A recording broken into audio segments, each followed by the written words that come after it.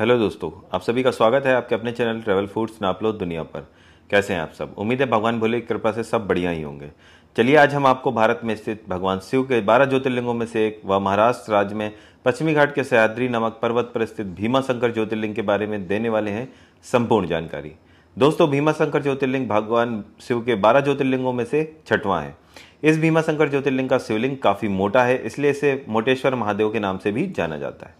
दोस्तों, आप भीमा शंकर ज्योतिर्लिंग के दर्शन को कैसे आए, कहाँ रुकें, यात्रा में कुल कितना खर्च आता है, साथ ही आसपास की जगहों को कैसे घूमें, इसके बारे में हम देंगे पूरी जानकारी। बस आप हमारे साथ बने रहें और देखें हमारा ये छोटा सा पूरा वीडियो। चलिए, सबसे पहले बात करते हैं कि भीमा शंकर ज्योतिर्लिंग जाने के लिए सबसे अच्छा समय कौन सा होगा। दोस्तों, भीमा शंकर ज्योतिर्लिंग मंदिर जाने के लिए दोस्तों भीमा शंकर ज्योतिर्लिंग जाने के बारे में बात करें तो वैसे आप यहाँ पूरे साल में कभी भी अपनी सुविधा के अनुसार जब भी टाइम मिले दर्शन को जा सकते हैं, लेकिन मौसम को देखते हुए सबसे अच्छे समय की बात करें तो आपको बता दें, अक्टूबर से मार्च के बीच का समय सबसे सही रहेगा। चलिए दोस्तों, अब हम बात करते हैं, आप यहाँ किन किन साधनों से पहुँच सकते हैं। पुणे, महाराष्ट्र के महत्वपूर्ण जिलों में से एक है, इसलिए भारत के सभी अन्य जगहों से अच्छी तरह से रेल, हवाई व सड़क मार्ग से जुड़ा हुआ है। और पुणे से भीमाशंकर मंदिर की जो दूरी है, वो मात्र 100 किलोमीटर है। सबसे पहले बात करते हैं हम ट्रेन की। तो इसका नजदीकी railway station Pune junction railway station है। पुणे रेलवे स्टेशन भारत के अन्य सभी मुख्य रेलवे स्टेशन से अच्छी तरह से कनेक्ट है। भारत के सभी मुख्य शहरों से आपको पुणे जंक्शन के लिए ट्रेनें मिल जाएँगी। दोस्तों, अगर दूरी की बात करें तो पुणे रेलवे स्टेशन से मंदिर की दूरी लगभग 110 किलोमीटर है। रेलवे स्टेशन से आपको आगे सड़क मार्ग से टैक्सी या बस से जाना होगा, जिसके बारे में हम आगे विस्तार से बताने वाले हैं। दोस्तों, अगर दूरी की बात करें तो भीमा शंकर की दूरी नासिक से 205 किलोमीटर, मुंबई से लगभग 220 किलोमीटर, शिरडी से लगभग 125 किलोमीटर, पुणे से 110 किलोमीटर और त्रंबकेश्वर से लगभग 200 किलोमीटर की है। चलिए दोस्तों, अब हम बात करते हैं हवाई मार्ग की। तो इसका नजदीकी हवाई अड्डा पुणे एयरपोर्ट ही है। दोस्तों, पुणे हवाई अड्डे से भीमा शंकर ज्योतिर्लिंग की दूरी मात्र 105 किलोमीटर है। आप यहाँ से प्राइवेट टैक्सी लेकर या बस से सीधे मंदिर पहुँच सकते हैं।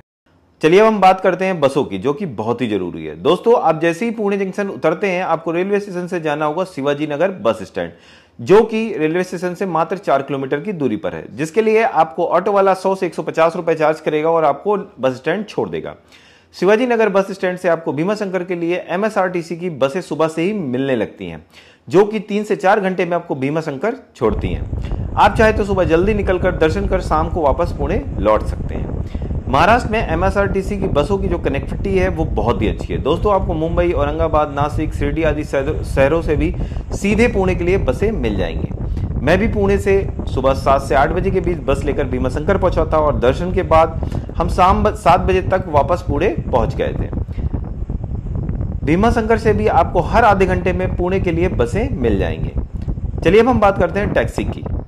तो आपको बता दें, जैसे ही पुणे रेलवे स्टेशन से आप बाहर निकलते हैं तो रेलवे स्टेशन के बाहर से आपको प्राइवेट टैक्सी दो हज़ार से पच्चीस रुपए में भीमाशंकर मंदिर के लिए मिल जाएगी। इसके अलावा यदि आप पुणे बस स्टैंड पहुँच रहे हैं तो वहाँ से भी आपको टैक्सी आसानी से मिल जाएगी।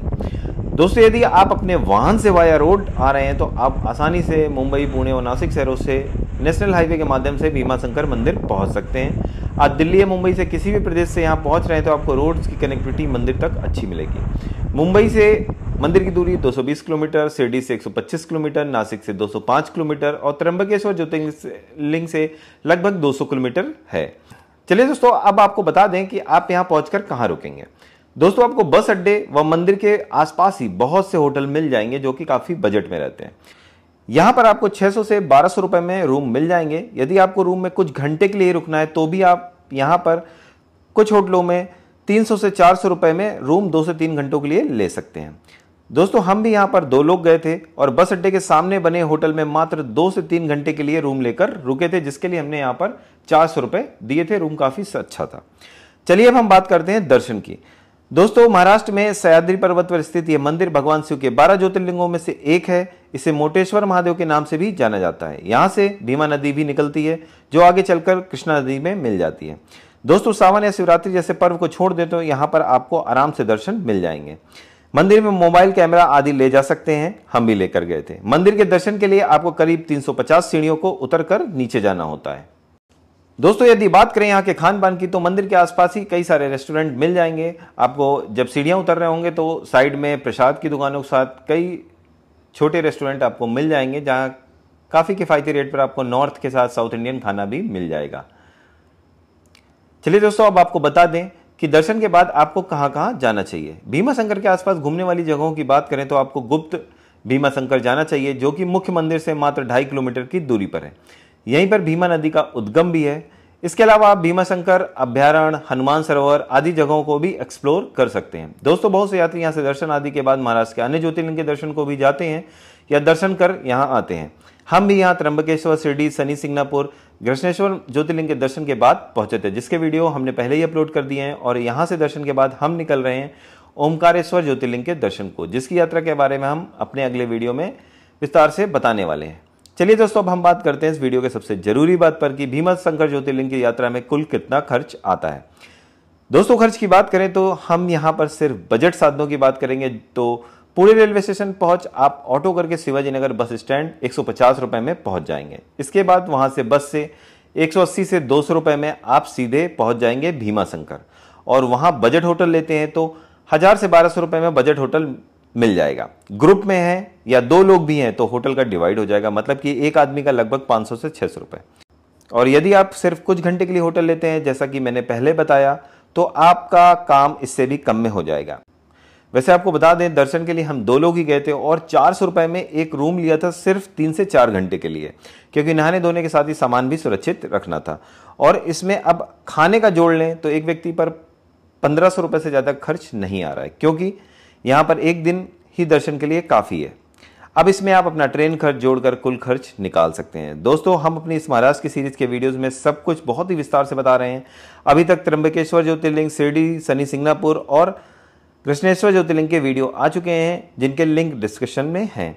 हम यहाँ से ओमकारेश्वर ज्योतिर्लिंग के दर्शन को गए थे। अगले वीडियो में हम ओमकारेश्वर ज्योतिर्लिंग के बारे में देने वाले हैं संपूर्ण जानकारी।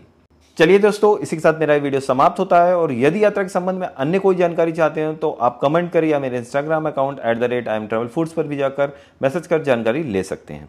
दोस्तों, अगर आपको मेरे द्वारा दी गई जानकारी महत्वपूर्ण लगी हो और आपको इससे अपनी ट्रिप प्लान करने में थोड़ी भी मदद मिले तो आप मेरे चैनल ट्रेवल फूड्स को सब्सक्राइब करना बिल्कुल ना भूलें और बेल आइकन को ज़रूर दबा दें, जिससे आगे भी मेरे वीडियो के नोटिफिकेशन आपको मिलते रहें। इसी के साथ अगले वीडियो आने तक के लिए गुड बाय जय हिंद, जय भारत, जय बाबा की।